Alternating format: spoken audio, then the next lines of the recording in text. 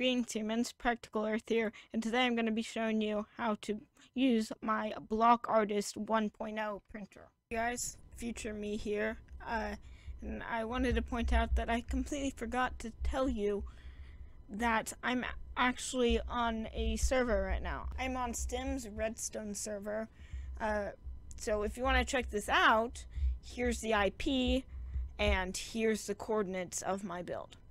Alright, thanks. See ya. So the first thing you want to do when using my printer is you want to check and make sure that the ink is all filled up. Now, I've already filled it, but if it's not filled up, you just place in black concrete in the black slot and the white concrete in the white slot, and it it's all good. Next thing you need to do is you want to go down here to this chest here and my machine does six by six prints. So that's what you want to do. You want to make um, designs that are six by six in this chest and you can do that by just ignoring these last three slots in each row. So I'm going to be making a creeper face here.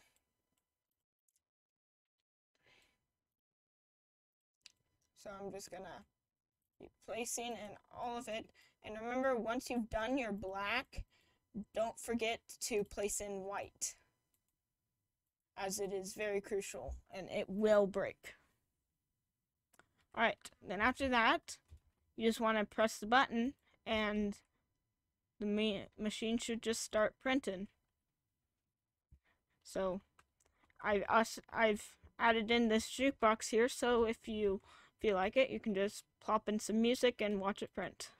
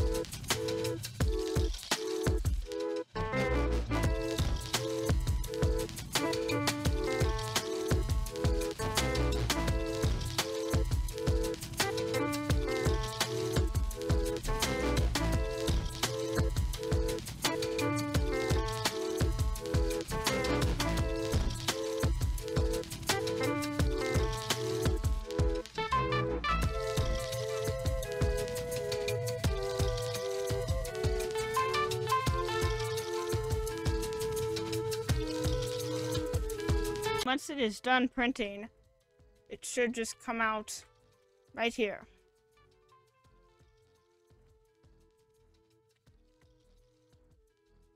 It's just as simple as that. So, I have actually just realized I forgot to show one of the more important parts of how to use this, uh, the reset button. It just resets the machine and you got your print here. I'm just gonna break this print now.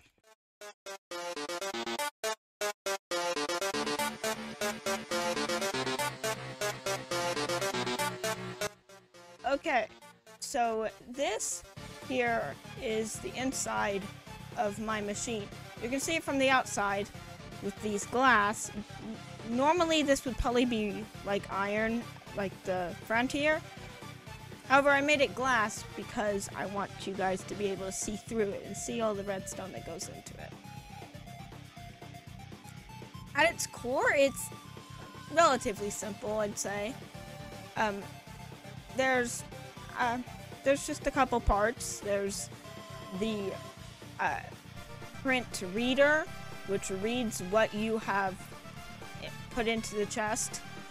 There's the um, ink cartridge, which which flows ink down into the ink chute, and converter, which receives the concrete powder and turns it into regular concrete and pushes it along. And then the uh, paper conveyor, which pushes the paper along, and it work, and that's what makes it really print. Now these are all color coded. The last, the only thing I didn't mention is the blue, because that's just the simple activation. When you press the button, it activates. But I'm gonna go color by color. Oh, and there's also the iron blocks over here, which are the reset button. I'm gonna go color by color, starting with red. So red, basically what it does is it takes an item and sorts it through, and then gives off a signal which tells the ink cartridge which ink to push down into the chute.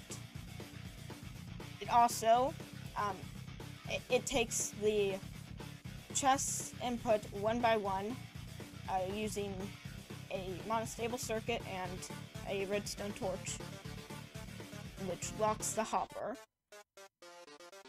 And then it's just a, a basic sorter mechanism that sorts um, white glass panes and black glass panes. Okay. Now, like I said earlier, blue is just the activation. It goes to the chute mechanism, which can activate. Ah, crud. Lag. Which can activate the sorter. So, here's how the chute mechanism works. Basically, well, actually, no. First, I need to show you how the ink cartridge works. It's actually really simple. The ink cartridge here receives signals from the print reader. And and just the print reader gives off the signals based on which item is going through the system. And it tells it to drop in black or drop in white. And then it goes into the yellow part, which is the chute. The chute basically receives the ink from the ink cartridge and it detects it with this tripwire because once the concrete powder is falling, it is technically an entity, so it can be detected by this tripwire. Then when it reaches down here, you have some water, which is actually through this pipe here because there's no way to really block off the water. So you're basically stuck having to just naturally have it flow and not go everywhere. And then basically it reaches the bottom here after it's been detected by the tripwire and it just has a push uh, uh, and it just has a piston that pushes it along onto the conveyor. So the paper conveyor here it actually does a lot. The main part of this paper conveyor, at the beginning at least, is it receives uh, the paper and ink from the chute. It just goes one by one, and once it reaches here, this redstone torch sends a signal through the block and onto uh, redstone dust that redstone dust is then connected to all these pistons, the pistons power, and it just keeps moving down until it reaches up to here, at which point this redstone torch here, why, why have I had my debug menu open this entire time? I have no clue. Basically, this redstone torch here um, powers the block once it reaches down here, and that powers this mechanism here, which tells these flying machines to go and then they reach here. Uh, once they reach here, one of the rows of the print is um, within this lip here. And we don't want that because then it's not viewable from the outside. So what it does is we have this row of torches. And once these pistons reach that row of torches, that tells them to extend out and then leaves the paper from getting in the slip, which makes the entire thing viewable. The last mechanism here is the reset button. Now, the reset button gets signals here from the Uh, after you press the button, is you get this redstone torch goes through here, and it tells all these redstone lamps to turn off. Then the observers see the redstone lamps have turned off because they are right up against the redstone lamps, and they're like, "Oh crap, I gotta move." So they do. Now, another thing that this does is it also turns off these torches here because you can't really move an extended piston. So you have to retract the piston before you can move it with a flying machine or else it will just stay there and we don't really want that. Now, it also depowers this torch here. Now this torch here actually gets depowered twice. It gets depowered when it when the blocks reach here because when they move forward, we don't want this piston here getting caught on that torch because extended pistons cannot move.